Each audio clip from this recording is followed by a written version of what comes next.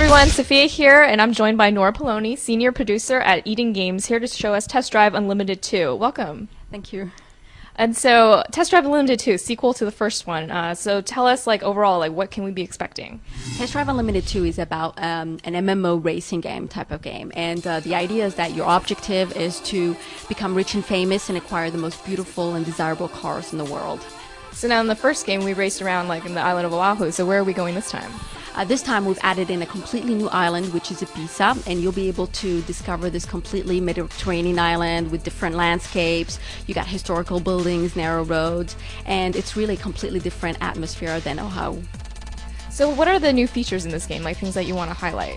Um, the main features that we've concentrated on is that we really reworked in terms of the car experience itself. Like, for example, we reworked completely the car dynamics, added vehicle damage, new terrain, all terrain vehicles. Um, another key element we did is we reworked in terms of the, um, the uh, multiplayer aspects. Like, for example, the connections between the players, making sure that they stay together all the time, um, added notions of like you can create clubs and be members of uh, clubs. Um, we've also added the new game modes linked to that, um, customization possibilities. Um, another element is that we added a new offline experience uh, with narration and also new game modes. So it's really we've extended this. It's practically twice as big as the first one. Yeah, there's a lot of features there, but like let's uh, go into more detail about some of them, like the social networking part of it. Could you go into uh, detail about that? Yes, we really wanted to focus on the um, uh, online aspect, push that even further than the first one. So, for example, today you can meet up with any other player anywhere uh, in any meeting points. Like if you go in a car dealer or at your home and things like that, you can meet up on players, and this is like a huge from the first test drive when before you could only meet up in free ride sessions. And the idea is that you can meet up through your avatar, you can have animations to say hi, you have like specific identity files to get to know them better, and uh, really you'll be able to share a lot of experience together online. And speaking of cars, like what cars can you actually tell us that will be in the game right now? Oh, our objective is really to have license-based cars and um, the high-end type of cars, so really the most desirable cars you can think of.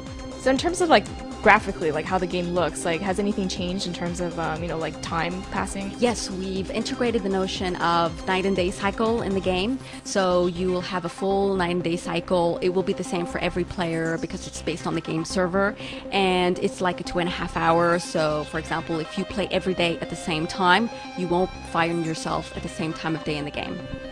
So how big is the game? Like how much road are we talking about? You said there was going to be off-road as well. So like how long would it take to drive around this entire island? So just for Ibiza itself, we have over 930 kilometers of roads. You've got of that 930 kilometers, you've got 310 kilometers of off-road that you'll be able to explore. So you mentioned just Ibiza. So what other islands are we exploring here? Um, we've got Ibiza in, um, but you can also go to explore Hawaii. So Hawaii, you'll be it'll be a completely different experience for those who knew the first test drive. We've completely reworked the graphics um, to include the day-night cycle and the weather conditions, for example. But also we've added in 600 kilometers of um, asphalt and off-road roads. We've changed the different missions and the challenges to new places. We've integrated in the new game progression.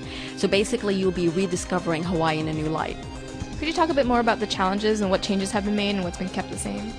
Uh, in terms of the challenges, we've really developed a lot of the multiplayer challenges. We've added in like a new uh, online gameplay, which is the cooperative experience. So some of the different challenges you'll be able to do and the cooperative experience are really cool.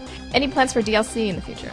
Definitely, we are aiming to make sure that we have a DLC plan in um, after the release of the game uh, with community management, and we want to make sure that all the new content replies to the community feedback.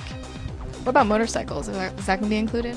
Um, we are thinking of doing motorcycles, definitely, like from the first test drive. Uh, we just want to make sure it's 100% perfect. Um, we've changed the car dynamics, so we want to make sure that works exactly as we want it to. So motorcycles will be coming out later from day one. So when is the game coming out and on what platform?